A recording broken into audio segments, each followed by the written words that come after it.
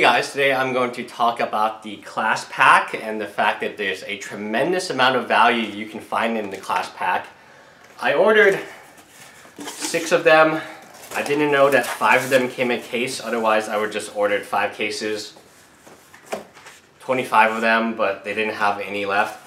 Uh, this you can get for under $24. I believe MSRP is $30, which still is a pretty good deal in my opinion what you have is you have two cards. You have Coco, which is a very good speculation right now. Uh, Abzan Company is a deck.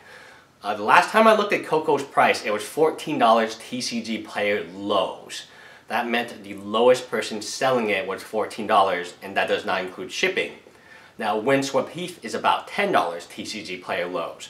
So when you combine the both, you get 24 bucks. This costs 24 bucks. The other, you know, 118 cards are free. What do you get? You get Rhino, you get some foils, you get uh, a lot of really good stuff. I think Anafenza is definitely one of my favorite cards in the actual set. And you get her as well. Not the uh, Anafenza the foremost, but the uh, tree, the, the tree, the, the tree Anafenza version. Anyway, it's a tremendous value. Um, and now the fact that the clash packs are not being made anymore, that signals to me there will not be a continuous flow of value anymore in these pre-established decks, these intro decks. Uh, intro decks are notorious, notorious for not having uh, the value that a clash pack. I mean, this is the first time we got a clash pack that was actually worth, in, oh, Dromoka's commands also in this clash pack, uh, worth any money. You could take this clash pack, buy four of them, which is what I did, and two of them are going to Dan, and then, you know, from that point on, you can just take the clash pack, make a deck, and go to GP Houston and see how you do with it. Uh, you would have to add a few other cards, but you have your Windswept, you have your Rhinos, you have your um, Land, your Tri-Land, you have your...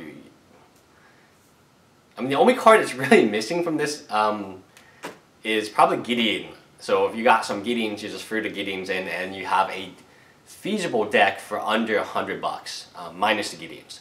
So clash packs definitely worth to buy, especially since they are not going to make anymore. Uh, that is a signal to me that like whenever like I'm a collector and whenever they're signaling to me that like they're not going to make any more of this certain type, it's always the last one.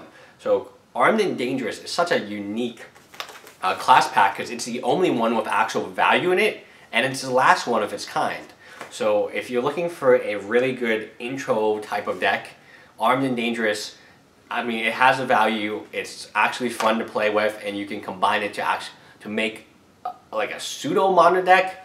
I mean, you do have your Cocos, you have your Rhinos, you have um, Anafenza. You, it's easy to get into modern if you buy four of these. And when I'm thinking of a hundred dollar investment in modern, uh, that's pretty much one Misty Rainforest, maybe two Misty Rainforests, right? So yeah, it's definitely a great investment from my point of view, modern, even modern wise. Um, I would buy four of them and try to make a deck with it.